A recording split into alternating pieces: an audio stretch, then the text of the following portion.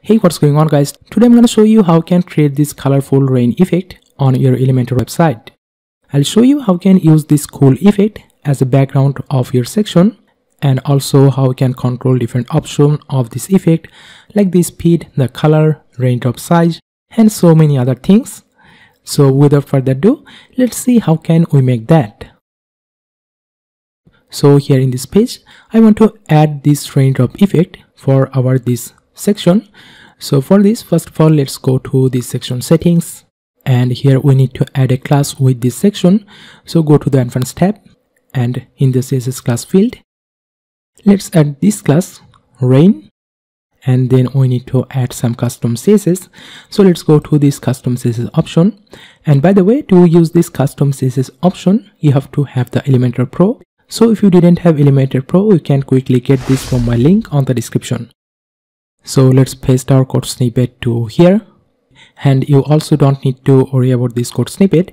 I'll also give that code snippet link on my description. So just need to copy that code and directly paste it to here.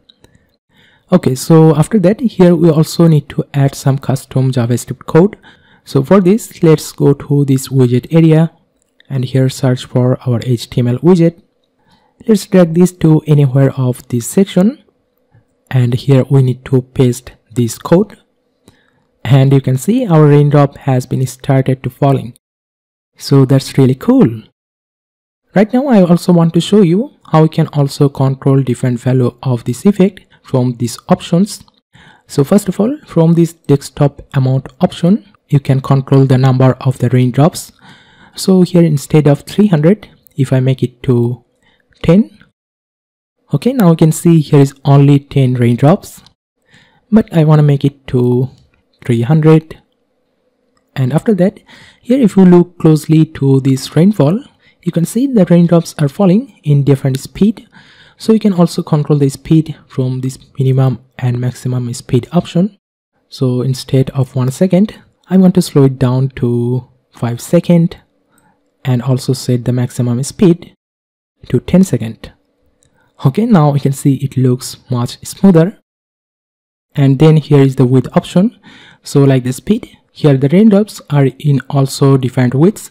So you can see some of them looks really thin and some of them look heavy. So we can also define the minimum and maximum width of these drops from here and also the minimum and maximum opacity. And lastly here is the color option. So from here you can control the color of these raindrops. So right now I have only used three color codes for these raindrops. So if you want to remove any color from here, you just need to remove that line of code from here.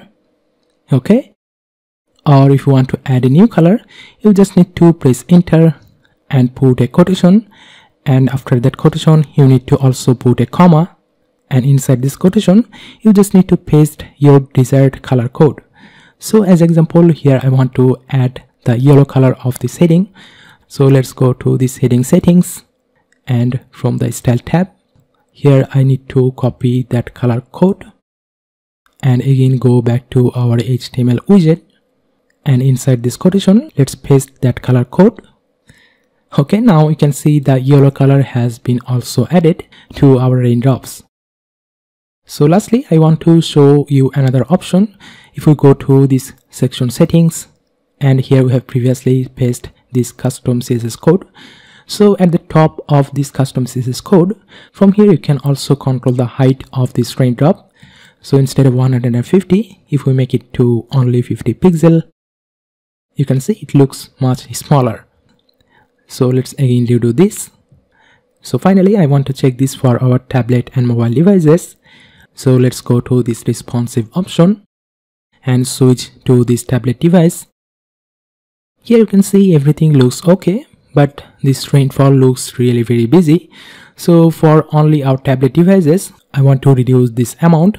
So here you can see this option tablet amount. If we reduce this to 120 and let's save this.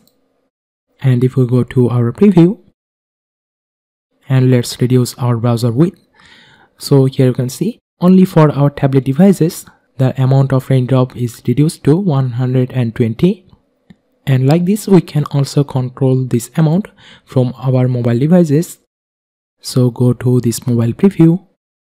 And here if we set the mobile amount to 80 okay now you can see it's also looking good for our mobile devices. So that's how you can create this cool rainfall effect on your website. If you enjoyed this video then don't forget to like and subscribe thank you so much for watching. I'll see you on my next video